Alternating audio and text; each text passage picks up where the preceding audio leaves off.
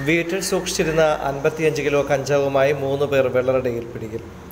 വെള്ളറട പൂവൻകുഴി കോളനിയിൽ anti narcotic cell നടത്തിയ പരിശോധനയിലാണ് അൻപത്തിയഞ്ച് കിലോ കഞ്ചാവ് പിടികൂടിയത്. സംഭവവുമായി ബന്ധപ്പെട്ട് പൂവൻകുഴി സ്വദേശി നാഗരാജ് കിളിയൂർ സ്വദേശികളായ നിഖിൽ ആരിഫ് എന്നിവരെ പോലീസ് കസ്റ്റഡിയിലെടുത്തു. നാഗരാജന്റെ വീട്ടിലെ രഹസ്യ അറയിലായിരുന്നു കഞ്ചാവ് സൂക്ഷിച്ചിരുന്നത്.